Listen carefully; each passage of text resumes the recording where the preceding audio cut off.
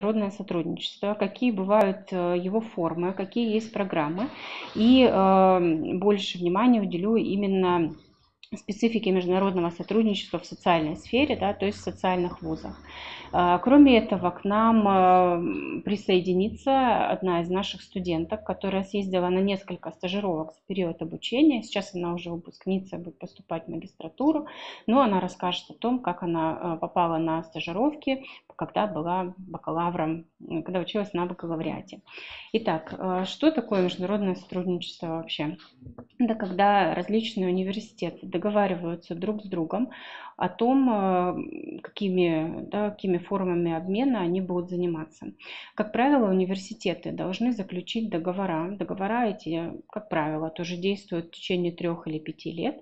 И в этих договорах э, обычно написано для кого существует программа академической мобильности, какие у них сроки, виды, цели и так далее. Э, как правило, если вы выбираете университет, в который хотите поступить, Эм, всегда хорошо посмотреть, какие есть партнеры у университета, и чем их больше, тем лучше для студента. Это означает, что у него много возможностей куда-то уехать. Особенно обращать нужно внимание на географию партнерских университетов, чтобы это была не только Европа, но и азиатские э, страны, и страны в другом полушарии, и, может быть, страны Африки. То есть, чем шире география, тем больше будет у вас возможностей э, охватить весь опыт, не только европейский, да, потому что, как правило, у университетов очень много договоров заключено именно с европейскими университетами.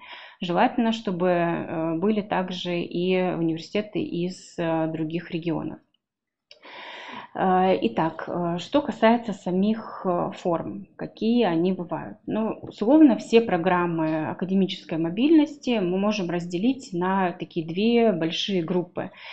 Первая группа – это долгосрочные программы, то есть когда человек, когда студент может уехать на несколько месяцев в другой университет. И вторая форма – это краткосрочные стажировки, которые могут быть от одного дня и до нескольких недель. Сначала поговорим о долгосрочных э, поездках, когда студент уезжает на один или два семестра. Наверное, такая форма мобильности является самой популярной, самой желаемой среди студентов, потому что э, в этом случае студент получает э, стипендию от принимающего университета, он получает место в общежитии, как правило, это место либо бесплатно, либо ну, а, да, какие-то небольшие, небольшие деньги. И в это время студент обязан посещать все занятия и делать все то же самое, что делают другие студенты в той группе, в которой он а, прикрепился. Как правило, план поездок, а, он расписан на, ну, на как минимум на год вперед. Иногда бывает, что и больше, на пару лет. То есть планировать долгосрочную поездку нужно обязательно заранее. То есть нужно понимать, что вы хотите уехать за год до того, как вы э, будете готовы к отъезду.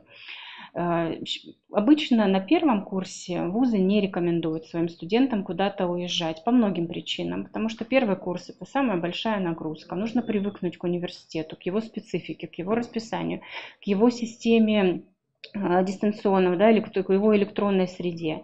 Нужно познакомиться с группой, со всеми преподавателями. И первый курс, как правило, достаточно такой э, ну, трудоемкий для студента. И желательно, чтобы он в это время не задумывался об отъезде, чтобы он э, занимался э, непосредственно учебой. Но уже на первом курсе, как правило, мы рекомендуем просмотреть те возможности академической мобильности, которые есть в ВУЗе, и понять, что интересно в первую очередь для вас, и заранее подать э, свою кандидатуру для такой поездки.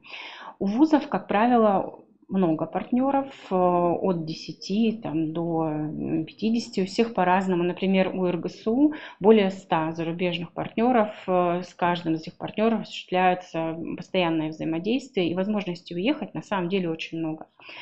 Но программы мобильности, они таки имеют тематическую направленность. То есть, например, э, вы можете уехать э, в университет, где э, да, сотрудничество осуществляется именно по направлению подготовки социальная работа. С другим университетом, например, направление работа с молодежью. С третьим университетом только для магистров могут быть программы. В четвертом университете, например, только для студентов третьего курса. То есть каждый университет, как правило, предлагает какую-то уникальную Э, программу мобильности. И обязательно нужно э, со всей этой информацией ознакомиться гораздо раньше, чем вы готовы будете куда-то поехать.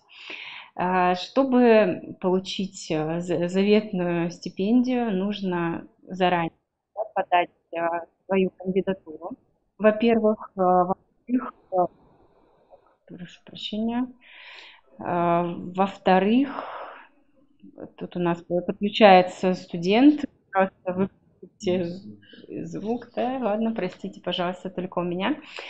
Итак, э, вы подаете свою кандидатуру в конкурсные списки. Как правило, вас э, должен рекомендовать и факультет, то есть э, факультет должен быть уверен в вас, что вы хороший студент, что пойдет все как как нужно, что вы не подведете, покажете себя только с самой лучшей стороны, что вы действительно будете учиться, усваивать нужные знания. Так вот, после того, как вы подали э, сведения о себе, получили рекомендацию факультета, как правило, вы должны пройти собеседование на языке принимающей страны, либо на английском языке. Конечно же, большинство э, собеседований проходит именно на английском. Во время собеседования у студента спрашивают, почему он хочет поехать, как каковы его причины, причины да, э, такой востребованности этой поездки, чем он планирует заниматься, какую пользу он э, получит и для себя, и, может быть, какую пользу он э, получит для своего будущего исследования, также для университета и для развития э, сотрудничества. Стоит особое внимание уделить подготовке к собеседованию и, конечно же, не говорить какие-то шаблонные фразы о том, что вы всегда мечтали поехать на стажировку, все мечтают поехать, да, многие мечтают поехать, может быть, у вас есть какая-то уникальная причина, почему именно вы. Конкурс э, на поездки, как правило, достаточно высокие. 3-5, э, бывает 10, 20 человек. Да? Поэтому нужно четко понимать, почему именно вы тот человек, который должен поехать на это обучение. Э, будет замечательно, если вы поедете не просто посмотреть другую страну, посмотреть, э, как люди живут, э, что они едят, да, и, и так далее. Идеально, если вы едете туда проводить какое-то исследование для, может быть, вашей будущей дипломной работы или для курсовой работы или для какого-то текущего исследования. То есть цели академической мобильности, они тоже должны быть, конечно же, академическими. Вот. После того, как собеседование проведено, как правило, университет обсуждает те кандидатуры, которые, а, которые прошли это собеседование и а, номинирует тех а, студентов, которые могут поехать. Университет оказывает всестороннюю поддержку, визовую, все, что связано с организацией поездки, с покупкой билетов, с коммуникацией с принимающей стороной, то есть университеты, как правило, делают почти всю работу за студентов.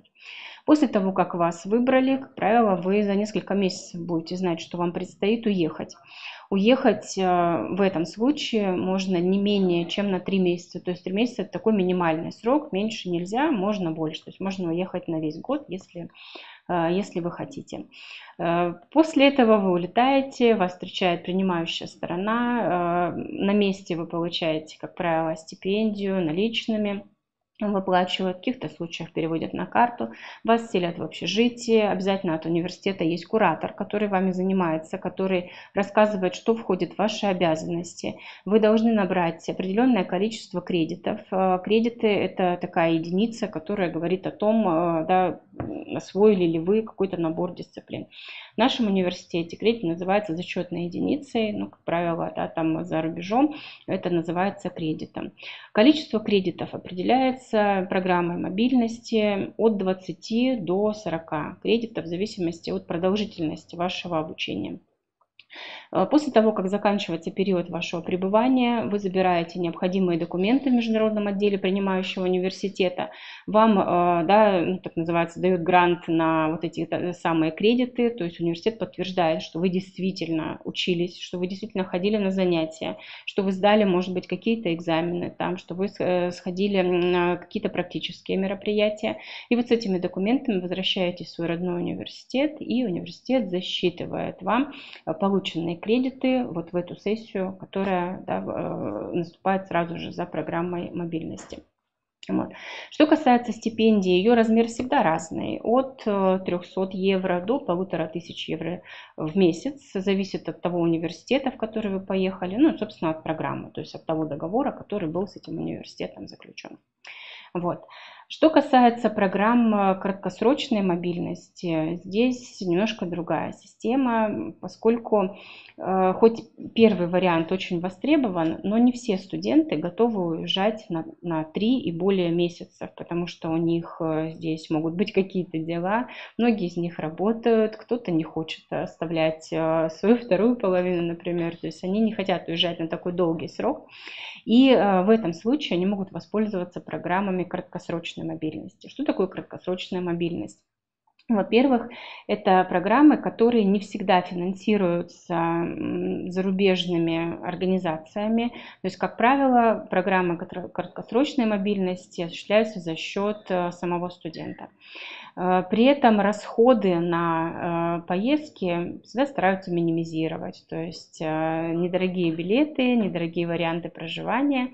И принимающая сторона в этом случае организует уже не занятия, да, лекции, семинары, они стараются организовать экскурсии в социальные организации, то есть те организации, которые непосредственно осуществляют э, практическую работу. И, э, как правило, краткосрочная мобильность она тоже востребована, потому что она очень интересна, она очень помогает студенту с профессией, с выбором. Они видят, как организована их, э, да, их специальность за рубежом. Они видят э, горящие глаза профессионалов и тоже заражаются этим э, духом любви к своей профессии. Приезжают, конечно же, они готовы творить, готовы развивать свою профессию эм, да, просто максимально. Вот. И чтобы не быть голословной, мне бы хотелось пригласить к нам сюда нашу студентку Ли Анастасию. Это девушка уникальная, она эм, во-первых, съездила, я уже говорила, несколько раз на стажировке. Во-вторых, это одна из лучших э, студенток факультета, которая стала победителем Всероссийской Олимпиады. Ну и вообще имеет очень много, очень много заслуг. Настя, слышно ли? Анастасия.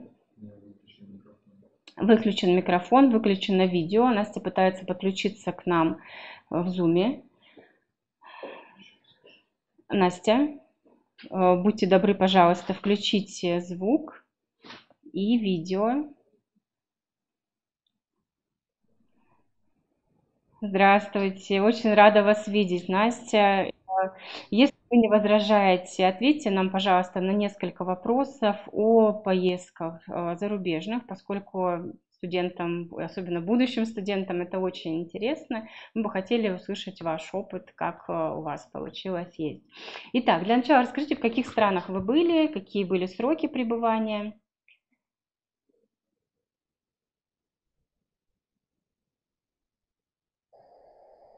находились неделю и была в Германии, город э, Дармштадт и Франкфурт по совместительству. Там мы были две недели.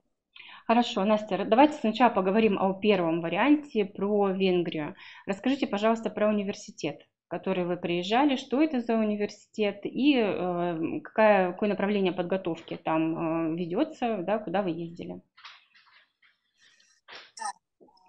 Университет очень э, сложно называется, честно сказать. Э, к сожалению. Лорен, да? Да, да. А, ну, в общем, а, мы туда ездили по направлению подготовки, по которым мы обучаемся и в РГСУ, то есть это социальная работа. Университет очень сильно отличается от университетов стран ну, России. А в чем отличие, Настя? Можете пояснить для нас? А, заключается в том, что, как сказать, Возможно, там гораздо меньше условностей, которые присущи для университетов России. Там и эм, я не знаю, там иная форма подачи информации, возможно, там несколько иначе оборудовано. Ну, как-то так. Потому что, например, когда мы туда приезжали, мы были одеты очень официально, так как мы привыкли, что форма, рубашка, брюки. А там студенты чуть-чуть попроще, шорты, футболка, топы, ну, то есть э, совершенно без разницы. Что касается аудитории, аудитория настроена на более опять же, свободный лад, то есть там есть аудитории круглые, квадратные, треугольные, парты расположены как угодно, доски где угодно, а, ну, что-то в этом роде. И там действительно очень интересно, потому что в этой поездке мы посетили огромное количество организаций, которые отвечали нашим интересам. А где вы были? Э, Можете рассказать подробнее? А, да, конечно. Мы были а, в как минимум в трех заведениях, которые я сейчас назову. Это приют для бездомных, потом центр адаптации для бездомных а, и центр для онкологических больных, больных онкологии. Вот, это три самых основных, которые я помню. Это очень интересные заведения в плане того, что они полугосударственные однозначно, тем, что они соответствуют нашему направлению социальной работы. А, там осуществляется деятельность и работа, которая для России совершенно не присуща, абсолютно, опять же. То есть это совершенно новый опыт. А, так, например, центр адаптации для бездомных, там могут люди жить абсолютно любое количество времени. У них есть свои комнаты, у них есть свои шкафы, свои душевые, свои холодильники. А, живут они там сколько хотят, подписывая договоры там, о каких-то определенных ограничивающих условиях, небольших совершенно, но которые абсолютно логичны, там из разряда не употреблять алкоголь или что-то в этом роде. Другой э, приют для бездомных э, состоял вообще из двух огромных зданий, э, являлся полугосударственным, то есть э, этот центр осуществлял какую-то свою предпринимательскую деятельность. Там э, магазин, в котором продавались изделия, которые делали э, клиенты данного приюта, ну, жители. И туда попадали люди, которые скорее не адаптированы для настоящей жизни – там их учат снова жить так, как нужно, приемлемо, то есть как обращаться со своими финансами, психологическая поддержка, соответственно, бытовая. И ну, это действительно очень здорово, потому что в России есть ряд определенных ограничений, которые обуславливают э, подобные заведения. Вот э, в Венгрии было немножечко не так. И что касается онкологического центра, но это тоже совершенно новый формат, э, потому что там люди по-другому смотрят э, на ситуацию с онкологией, потому что туда, во-первых, попадают люди на последней стадии онкологии. Соответственно, когда там уже ничего ну, остается только смириться и принять э, совершенно логичный исход данной ситуации. И сотрудники там помогают адаптироваться к этому, они помогают э, психологически принять. Это идет подготовка родственников, идет подготовка самих получателей социальных услуг э, в данной ситуации. И э, там есть отдельные комнаты для прощания, отдельные комнаты для отдыха тех, кто еще там находится. И люди, и сотрудники, которые там, они абсолютно позитивны, что совершенно для России непривычно, потому что если это какой-то онкологический центр, это значит э, люди грустные, унылые, люди все плачут вокруг, все очень грустно, все черно-белое, серое. Нет, там люди ходят, смеются, что-то играют, смотрят телевизор. Там есть великолепнейшая собака, которую все считают как за сотрудника центра, которая абсолютно со всеми общается, повышает настроение. Там есть сад, по которому все гуляют. Кто-то высаживает что-то в сад, э, занимается то есть садоводством, кто-то что-то плетет. Там... Хорошо, Надь, а у меня вот такой вопрос. Эм, Насколько полезна эта поездка была для э, студенческой жизни? То есть понятно, что много новых ощущений, каких-то да, нововведений, заметные какие-то вещи, которые хотелось бы, чтобы в России тоже появились. А тем не менее, академическая польза какая была для вас лично? Для меня лично академическая польза была просто колоссальная. А, начать с того, что я очень сильно переживала о том, что у меня очень низкий уровень знания английского языка, но, как показала практика, стоит оказаться в среде, и язык сам расплетается, и, как оказалось, все мы прекрасно говорим на английском языке, что, безусловно, радует. А, во-вторых, это огромное количество материала, которое в дальнейшем используется для моего личного развития. В моем случае это написание только по Венгрии как минимум трех научных статей, которые потом были изданы в сборнике. Это просто колоссальная помощь для э, студентов э, старших курсов третьих, четвертых, потому что это поступление в магистратуру, это подготовка к написанию выпускной квалификационной работы, потому что, опять же, это помогло при написании моего диплома. Точнее, это было одной из основных частей его. И э, потом... Э, как социального работника увидеть, как, как специалиста по социальной работе, увидеть, как работают наши коллеги за рубежом, в каком направлении они движутся, возможно, увидеть то, чего мы не видим здесь, в родной нашей стране, или обменяться опытом с ними, потому что для многих там то, что говорили мы, тоже было очень интересно и познавательно.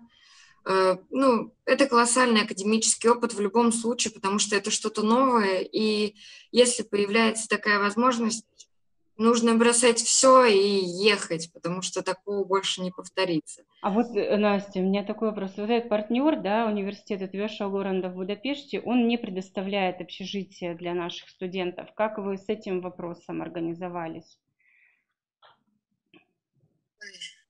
Да ну, спокойно. Все мы люди взрослые. Через сайт Booking мы просто забронировали себе апартаменты. Нас ездило четверо человек. Там четыре спальных места было в апартаментах. Апартаменты на четверых на неделю. Это недорого. Особенно с тем учетом, что вы выбираете апартаменты себе по вкусу. Ну, мы решили жить в очень хорошем комфорте, поэтому у нас были большие светлые апартаменты с балконом в центре города. И, как правило, это не встало нам в какие-то крупные суммы денег. В целом это было... Тут, прям можно называть какие-то суммы, это необходимо или нет? Не обязательно, но если есть желание, то, конечно, пожалуйста. Ну, получается, мы ездили в 2018 году, и на четверых нам апартаменты на 7 дней встали в 27 тысяч на четверых. Это с четырех, э, ну, с четырьмя спальными местами и отдельной кухней, и балконом, и центр города. Мы везде пешком там шли. Угу. То есть там это просто красота. Настя, а вот э, про вторую вашу стажировку. Там вы ездили в университет э, прикладных наук города Дармштадта, и там я знаю, что вы жили в общежитии университетском. Расскажите, пожалуйста, немножко про само общежитие, что оно из себя представляет. Ну, общежитие очень э, потрясающее. Э, начнем с этого. Во-вторых, оно находится сразу в кампусе при университете, то есть никуда ездить от него для того, чтобы попасть на пары, не нужно. А, само общежитие делится на, а, ну, в принципе, как у нас, на блоки, только там а, блоки на две комнаты, то есть э, душ, туалет, извиняюсь за прямоту, на две комнаты. В комнате, когда мы заселялись, были двухъярусные кровати, мы думали, что к нам подселят э, кого-то из э, местных студентов или тоже студентов по обмену из других каких-либо стран, на что нам ответили, что комфорт превыше всего, и вы будете жить здесь одни, что для нас, собственно, тоже стало очень приятной неожиданностью. То есть, опять же, нас ездило четверо, и четыре комнаты мы заняли. Эм, а, трое, трое нас ездило, я уже соврала. Вот. И э, что еще касается общежития? Из общежития есть прямая дорога в столовую. Мы там питались бесплатно, как студенты по обмену, ну, то есть студенты из России. А, далее, там есть э, кухня в том же блоке, ну, в том же крыле, назовем это так. кухня оснащена лучше, чем, я не знаю, чем у меня кухня в доме, потому что там посудомоечная машина, шкафчики. Каждому присущи, каждой комнате своя, свой шкафчик, если вы хотите, который закрывается на ключ. А, ну, то есть вы там храните свои продукты, которые не, не нуждаются в хранении в холодильнике.